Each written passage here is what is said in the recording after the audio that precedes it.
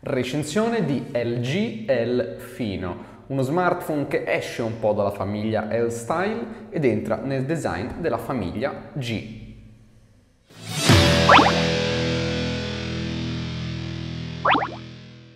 Un saluto a tutti gli amici di AndroidWorld.it, recensione di LG Elfino, smartphone presentato abbastanza di recente, ehm, si è visto per la prima volta per bene soltanto a IFA di Berlino a inizio settembre insieme a LG L Bello. Eh, I nomi sono particolarmente comici, eh, va ammesso, almeno in Italia, sono due nomi comunque di origine spagnola e non um, e non italiana, quindi si pronuncia proprio L bello ed L fino e non L bello ed L fino. Questo è l'alimentatore con presa italiana, cavo USB, micro USB, eh, cuffie auricolari stereo con telecomando sul filo, manualistica rapida, via da una parte e dentro il nostro LG L fino. Uh, smartphone curioso, smartphone curioso dal punto di vista estetico perché uh, ricalca, um, ricalca, la famiglia, abbiamo detto G, quindi G3 e G3S. Uh, eh, curioso oltre che al nome ovviamente perché un nome abbastanza particolare. Ma eh, smettiamo di indugiare sul nome e parliamo del telefono. questo smartphone ha questo design con i tasti posteriori, vedete non ci sono altri tasti, qua sopra abbiamo il secondo microfono e il jack audio, sotto la porta micro USB e il primo microfono, qua sotto lo speaker che purtroppo è in una parte abbastanza piatta dello smartphone, infatti lo smartphone non è poi così bombato come potrebbe sembrare. Tasti del volume sopra e sotto, tasto di accensione, fotocamera da 8 megapixel con LED flash. Vi faccio vedere che eh, i tasti sono molto meno in rilievo rispetto a G3 o G3S. Cosa vuol dire questo? Vuol dire che mi è successo varie volte di arrivare a premere il tasto del volume su in particolare invece del tasto di accensione eh, perché erroneamente non riuscivo a riconoscerlo con il dito, purtroppo è una cosa che succede più che sugli altri modelli precedenti.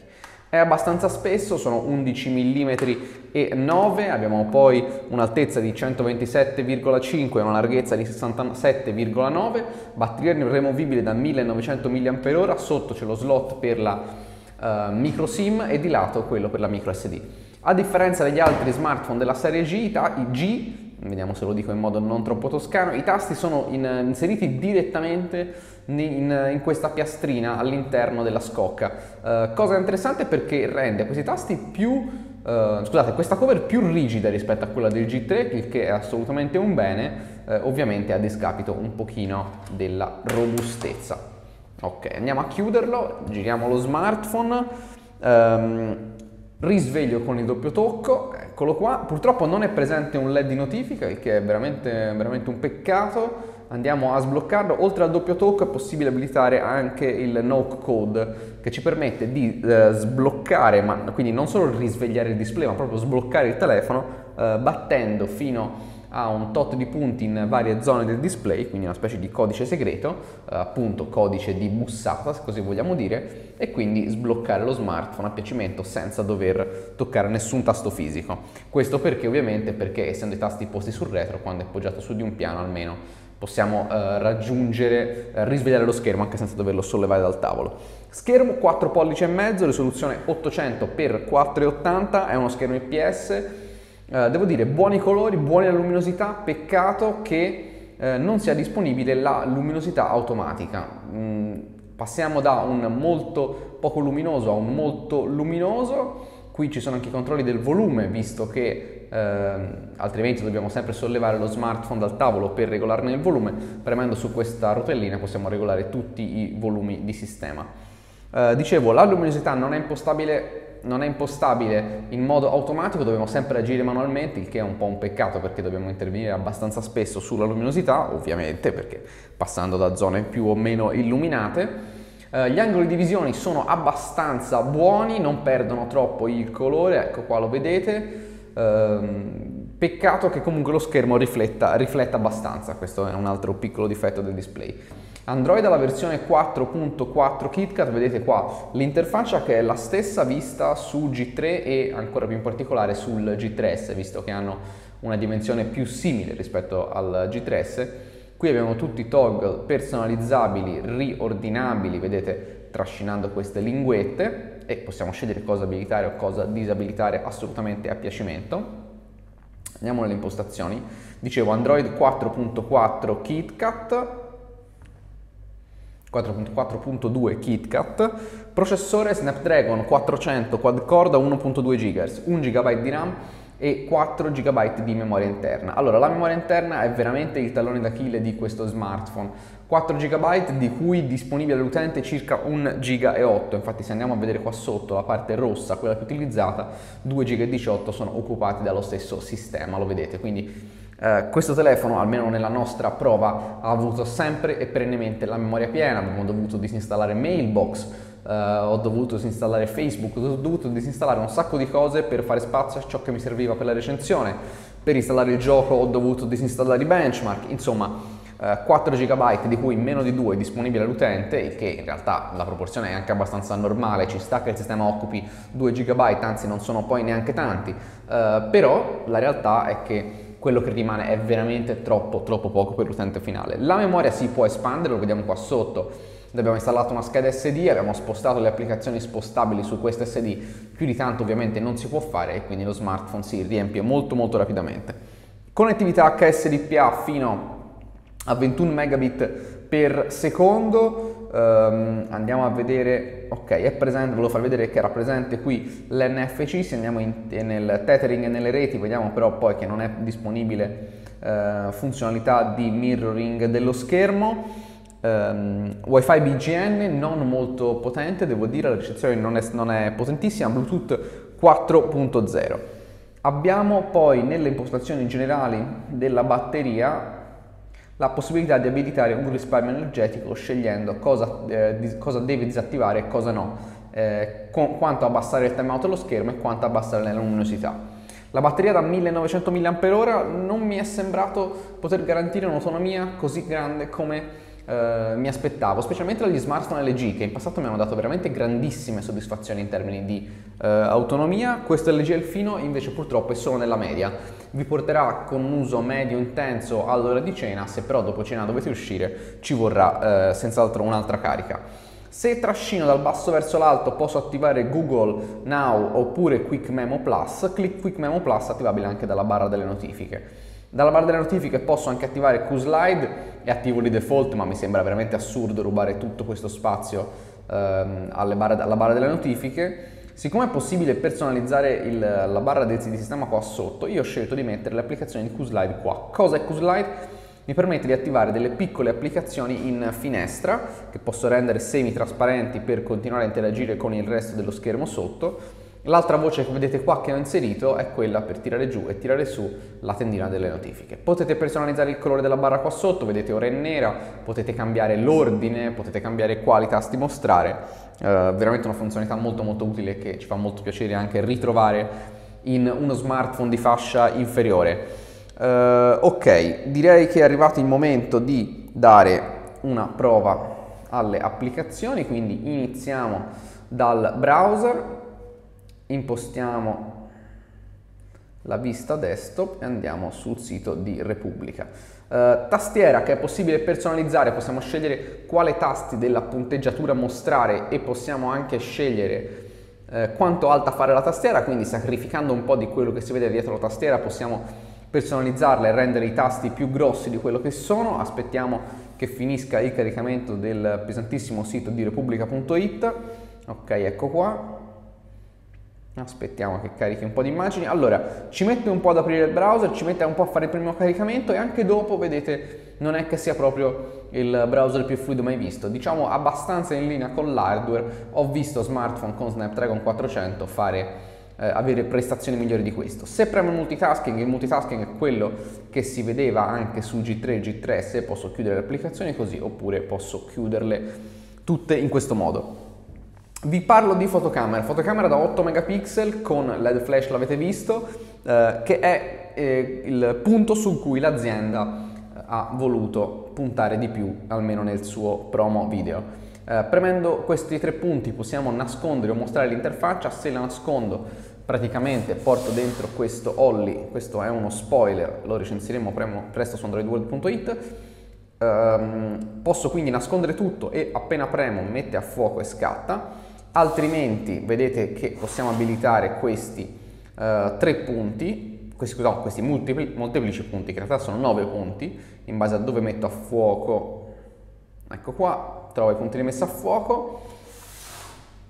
Le opzioni di scatto sono pochissime, modalità classica o panoramica um, e foto, foto da 8 uh, eh, megapixel, 6 in modalità, in, um, scusate, in modalità wide, uh, quindi in 16 noni, fino a scendere a 5 a 3. I video purtroppo solo in 800x480, che è veramente, veramente poco. Vado nella galleria per parlare della qualità degli scatti. Uh, vengono un po' scuri, uh, purtroppo manca l'HDR, quindi all'aperto quando c'è il cielo particolarmente bianco come oggi uh, in cui sembrava che qui a Firenze dovesse piovere, come potete vedere, ehm, mancano funzionalità HDR in, che, che possono un pochino dare vigore ai colori di tutta la foto, quindi le foto vengono in generale anche al chiuso un po' scure, ci sono comunque, devo dire, eh, un discreto numero di dettagli, guardate qua, il che non è veramente male, andiamo a beccare il nostro condizionatore di LG su cui zoomiamo sempre, quindi veramente un buon numero di dettagli, qualche funzionalità aggiuntiva come per esempio lo scatto chiudendo la mano se utilizziamo la fotocamera frontale oppure il flash frontale che in pratica um, lo schermo diventa tutto bianco, c'è una piccola finestrella con l'anteprima e quindi illuminerà il nostro viso dando colore appunto al nostro viso.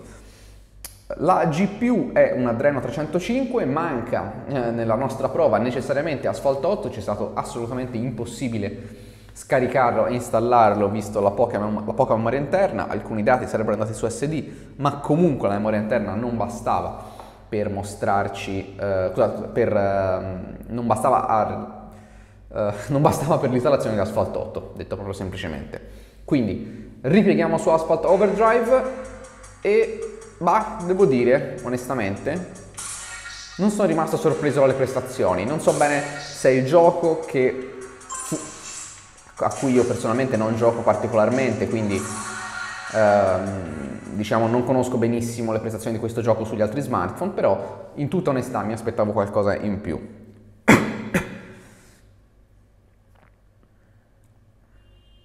Si tratta di una specie di running game con, con le auto.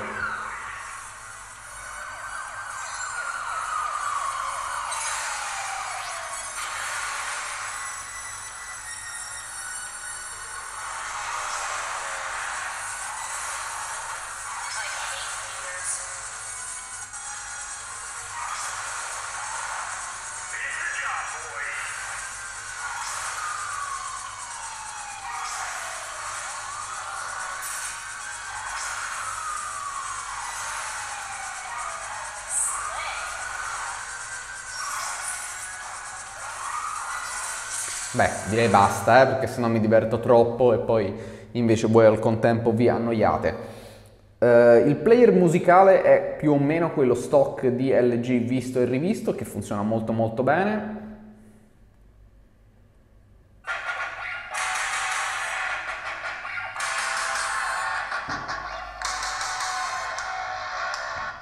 Uh, gli, gli, altri sono abbastanza squillanti, il volume è molto alto, ma come abbiamo detto fin dall'inizio lo speaker non è in una posizione fortunatissima, quindi il suono si attenua, si attenua abbastanza.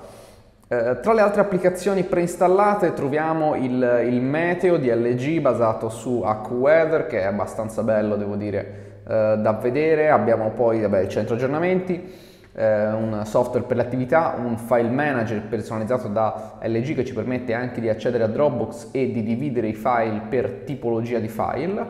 Eh, Quick Memo prima ne abbiamo già parlato, abbiamo Quick Office, ehm, anzi no, mi sa che ora non ricordo, no, Think, dovrebbe essere Think, Think Free Viewer, scusate, Quick Office mi sa che si è reinstallato con il ripristino dei dati l'ultima volta.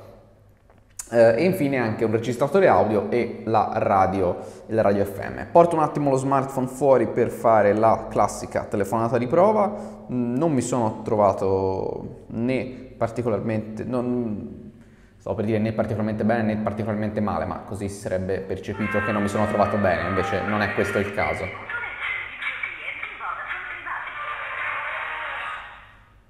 Se la wifi Uh, non, non, è potentissima, il segnale del, dello smartphone l'ho trovato molto stabile, molto, molto potente. eh, audio molto squillante come avete sentito con il viva voce. Mm, giusto perché sono andato comunque abbastanza veloce perché alcune cose non ho potuto mostrarvele, posso farvi vedere anche eh, video sample. Video sample l'unico che funziona è il DVX, nessun filmato in HD o superiore funziona.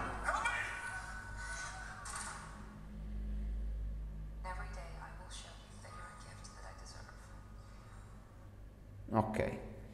Prezzo di vendita di questo LGL fino 169 euro, quindi meno di LGL 70 al momento del lancio. Condivide moltissimo con LGL 70 rispetto a L70 in più ha sicuramente una fotocamera migliore, ha uno software migliore, una batteria un po' inferiore. ePrice lo vende già a 156 euro, noi l'abbiamo preso appunto su ePrice.it, eh, quindi già comunque si tratta di 13 euro meno, il che non è poco, è quasi, è quasi il 10% di sconto.